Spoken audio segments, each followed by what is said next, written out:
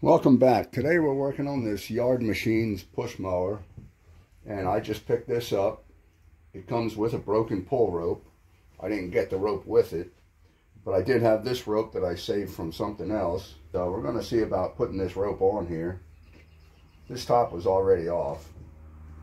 So we're going to need to count how many times we have to wind that up to put this rope on so it pulls it in. So the rope goes up there to the handle, down to there. That's about how much rope's going to be sticking out. And then I coiled this rope up about the size of the pulley in there that it gets wrapped around. And this is about four times around. So we're going to take this cover off and we're going to wind that up four times. And hopefully that's, maybe I'll go five and that should be enough to pull the rope in and keep it, keep it snug.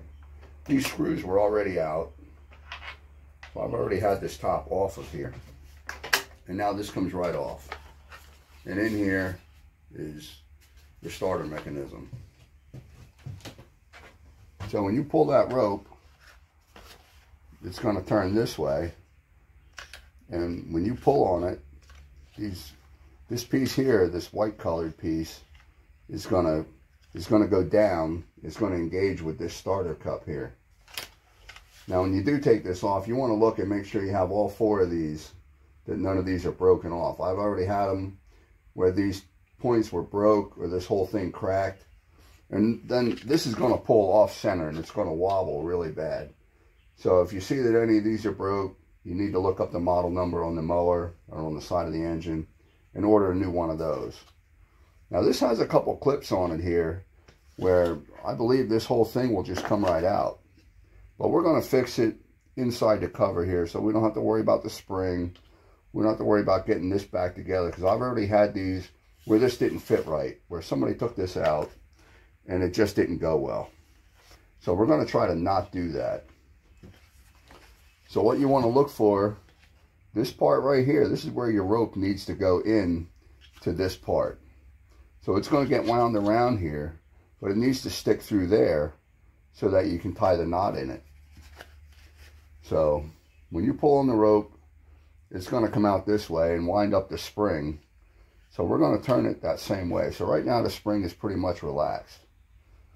So we're going to go around five times. So that's one, two, three, four, five. And now there's a good amount of tension. But that spring will still wind up farther. So we're not going to we're not going to jam up the spring. Because right here is where the rope's going to stop rotating it. So if we go farther, we, we still have some space to go. Now we need to keep that right there. So this here, so this piece here, where your string is going to come through, is lined up with where it goes out of the housing. So we need to put something there. We're going to put this screwdriver through here keep this from rotating. We put the screwdriver right there. We can let go. And the string is, that hole is really, really close. If you look in here, you won't be able to see it, but there's the hole is in there.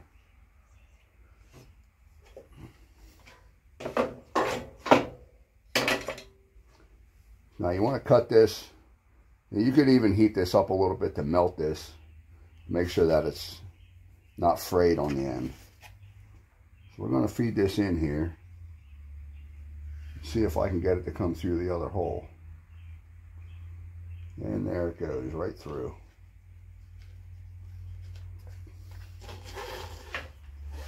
we're going to pull that through there. Now from the factory, there's a special way that they tie these, and I've done it already. Sometimes I can get it right.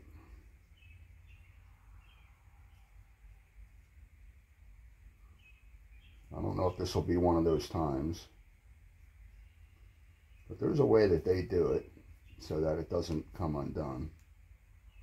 Ever. And that's going to be pretty close right there.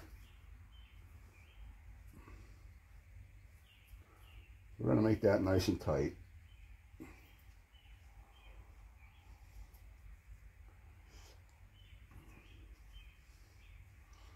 And one of the reasons they do it a special way is so it don't take up a whole lot of space.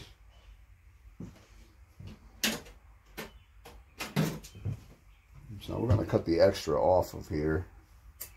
It has to fit in a little spot. Now we pull this back through, and that's where it needs to sit down in there. So I'm going to pull on this, take the screwdriver out, and this should pull just about all that rope in there. Now if it doesn't, the older ones, it's pretty easy to, to wind that around again. You don't have all this plastic cover in the way. But it's pulling the rope into there. And the rope is going to end up there at the handle. So the rope's going to be out here. So it should be able to hold that rope against that, that handle up there pretty well.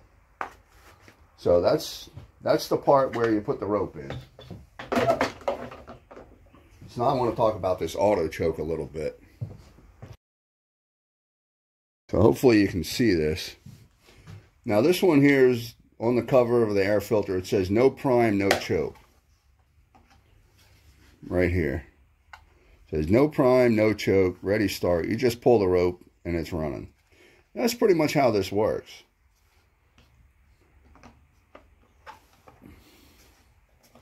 So this part down here, this here is your throttle control. This here is your actual choke lever right here. This is what opens and closes the choke. So you got this little spring that holds the choke closed for when you pull the rope, you know, it's not going to pull much air. It's going to force it to pull fuel through the carburetor so that it's rich when it's cold. So, you know, it has that spring to hold it shut. And when, once it starts, the governor is going to pull it, pull the throttle lever back like that. It's going to force this choke open a little bit. Okay, so right there the choke is closed. But once you get up, this anywhere here is going to be in your operating range. It's going to hold that choke open enough for it to run without without fouling the spark plug. Now over here, this is your automatic part. This here goes down into the muffler. There's a little a little coil of wire in here. Right now it's spring loaded closed. But once the exhaust gets hot, heats up this metal, this this here is going to go over like this. So once it's warmed up, that goes like that, pushes on this this lever, pushes on your choke lever here. And once it's hot, after it's running for probably just a few minutes, it's going to hold that choke all the way open. And once it cools down, once it stops running, you let it cool down, then it's going to go back to the way it normally is. So it's possible, I, I've seen where people have trouble restarting this, they'll run it for a minute or two, and this will hold your choke open because it's still warm. And, uh, you know, they'll start it and, and run it a minute or something like that, enough that this gets hot, but the in, inside of the engine's not hot, and uh, it doesn't want to start because the choke's open all the way. So that, that may never happen to you, but it is a possibility if you get the timing just right. But that, that's basically how it works. You know, you got this spring, so, it, you know, it, it keeps your choke closed. And once it starts up, you know, that goes like that. You get a little bit of air is able to go through. So if you have trouble starting this, like you have to really, really pull, but it runs okay once it's running, you need to look and make sure that this spring is still on here because if this is sitting over like that, it's going to be very hard to start when it's cold. Or if you get a lot of grass in here, there was a little bit in here. But when it's cold, this needs to be all the way like that. To where if you take your air filter cover off and look in there, you'll see the brass choke. And that needs to be closed. Otherwise, it's going to be very hard to start when it's cold. So that's basically how they get to where you don't have to prime this. You don't have to put extra fuel into the engine. It has a choke that works automatically as long as that spring is there. And then, you know, this here is just to to make it open all the way once it's warmed up. Your throttle is going to open it enough to run. But if you go into high grass before this is warmed up, you know, you're you're not getting your full airflow. So the throttle is going to open to suck more gas and air in, and it's not necessarily going to get enough gas or not get enough air. So it may cause it to run a little bit rough or smoke just a little bit. And, you know, this cover comes right off. And this already has a nice clean air filter in it. So we're going to see. I, I may uh, take the car, take the gas tank off and drain it because uh, the previous owner said that it sat for a, a season or two. But first we're going to try it just to see see how it starts up.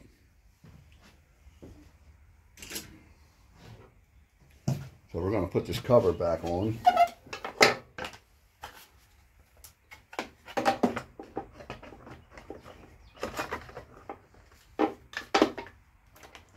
And these screws here, you don't want to lose these. These are special screws. Now, luckily, these were all in here. Somebody took this cover off, but they put it back on. They, they started the screws. They were all loose, but at least they were in there because you, you need all three of these to hold this on so when you pull the rope it stays centered on that starter cup in there. Otherwise you know if it's not straight and lined up it's all plastic it's going to break. Then you're going to have to go order more parts to get it back together.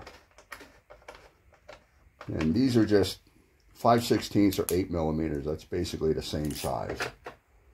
So whichever socket set you happen to pull out, standard or metric, if they're separate ones. That's the size you need. So now we're going to straighten out the handle here. This handle's made to fold up pretty nice, but you do got to take these two bolts out to do it. And this one was in the, the wrong direction. Maybe they put it together the right way, but both the bolts were facing the same direction, so one was right and one was wrong. But they have this little shoulder here, and that's meant to go through the outside of the handle. And what you get here is a little bit of height adjustment.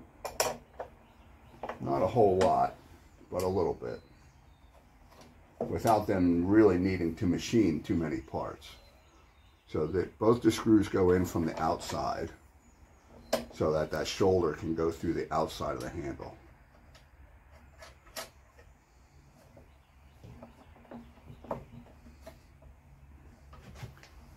Now we're another wrench.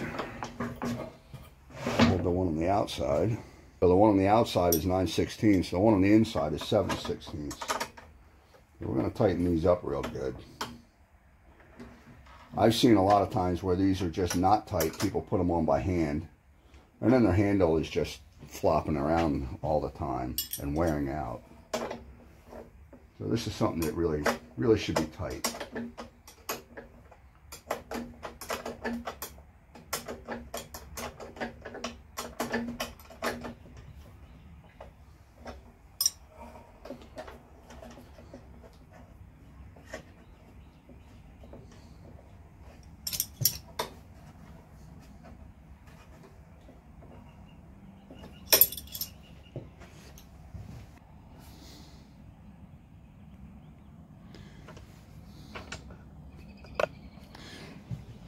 And then at the bottom of the handle, you have these two screws here.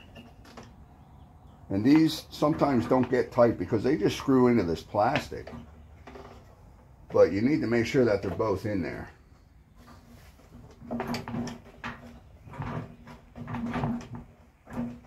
See, that one's that one feels like it's not going to get tight. But they just screw into plastic. What that does, that keeps the handle down in, in this housing here. So when they're at the factory, I don't even know if they screw these in. They might just tap them in with a hammer. But this whole thing is, is for quick assembly where they can just throw it together right away. And probably these are not in when it's in the box. These might get put in at the store. That way it, it ships more compact. Now we're going to get the rope up here and put it through this holder. So we'll get some pulled out there. And you need to watch how you do this so that it goes straight through. Usually you can just pop it in like that. But now when you pull on it, it's going to go straight through there. So this is a little frayed. I thought I had new string, but I don't. But that's going to last a while yet. I may get a new roll and, and change this before it leaves. So now we're ready to get it down and see if it'll start. So I probably should drain that gas tank first, but I'm going to try it anyway.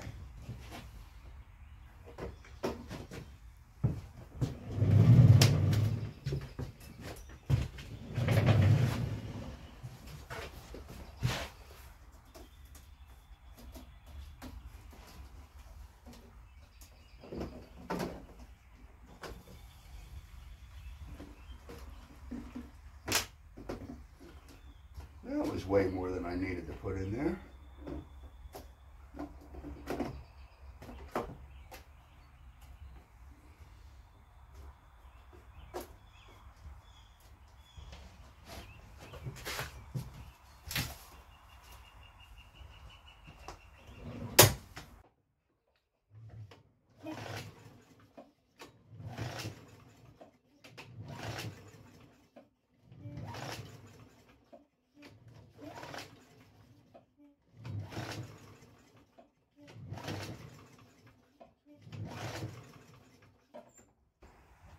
All right, so we're going to give this a little fuel that'll burn in case the carburetor's gummed up inside from the sitting. If you've seen my other video about replacing a carburetor on these, I like to use the Gumout carb and choke cleaner because they'll actually run on this and it's not as bad for them as starting fluid.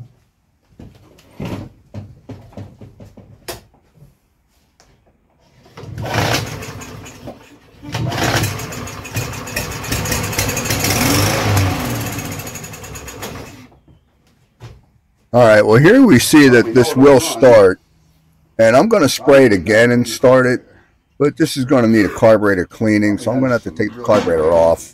That's going to be in a separate video. This video is already getting long enough, so if something like this helps you out, please like and subscribe, and we'll keep doing stuff like this. Thank you.